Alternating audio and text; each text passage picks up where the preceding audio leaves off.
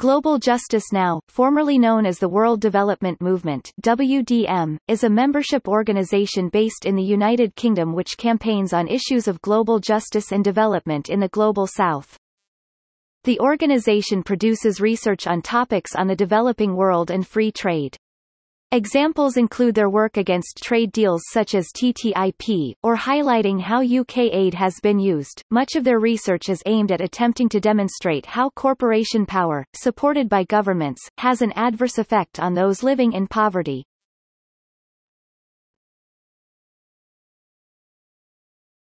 Topic. Aims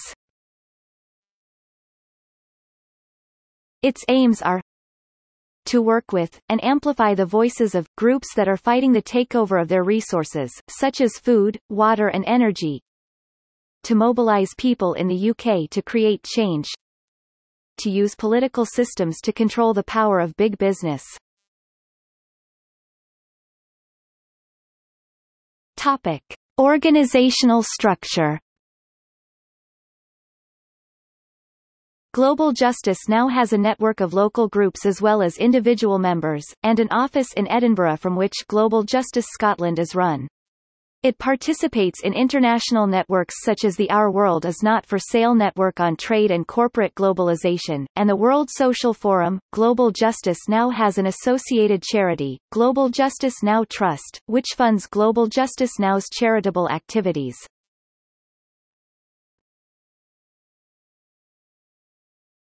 Topic. History Global Justice Now started in 1969 as Action for World Development AWD.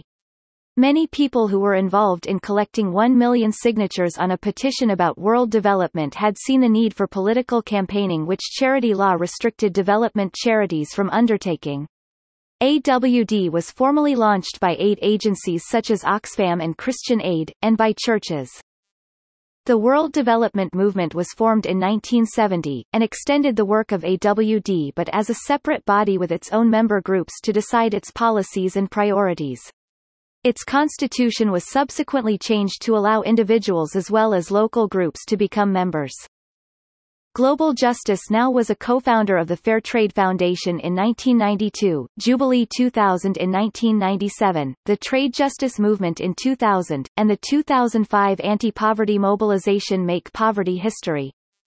In late 2006, Global Justice Now moved its London offices from Brixton to new premises at 66 Offley Road in Kennington, London.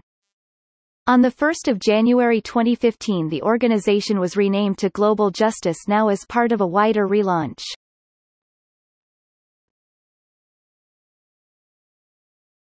Topic. Campaign highlights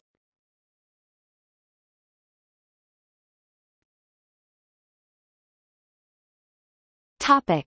Transatlantic Trade and Investment Partnership TTIP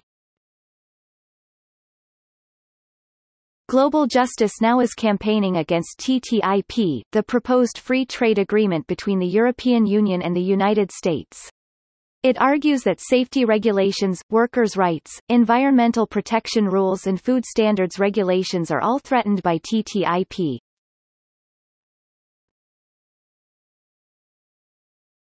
Topic. Climate change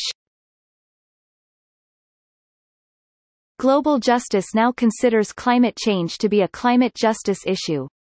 In 2009 they successfully campaigned to stop new coal-fired power stations in Kingsnorth, Kent and Hunterston in Ayrshire because the organisation considered any plans for new coal-fired power stations to be incompatible with plans to tackle climate change. From 2010 Global Justice now ran a campaign on climate debt opposing the UK government's plans to give money in the form of climate loans to already heavily indebted poor countries in the Global South.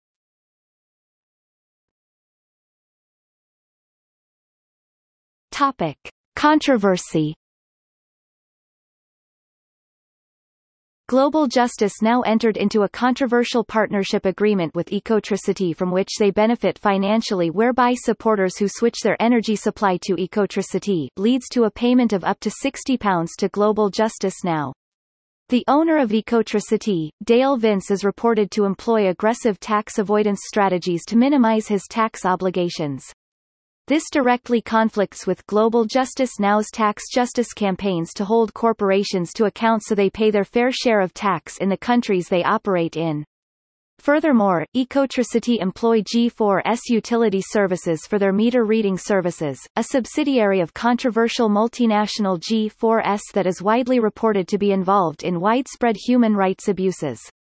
As a social justice organization Global Justice Now were criticized for indirectly aiding and abetting human rights abuses as a result of their continued relationship with Ecotricity. In response to complaints about Ecotricity's use of G4S, Dale Vince gave assurances that he would end the contract with G4S Utility Services in 2014 and then reneged on his promise when Ecotricity announced it had renewed its contract with G4S Utility Services for another four-year period from January 2016 to December 2020. Global Justice now ended its partnership with Ecotricity in early 2016, following a review over concerns about their association with G4 4S.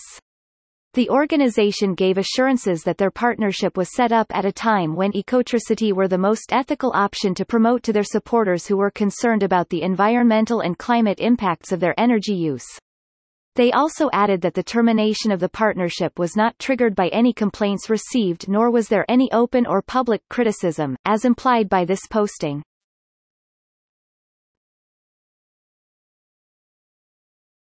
Topic. See also.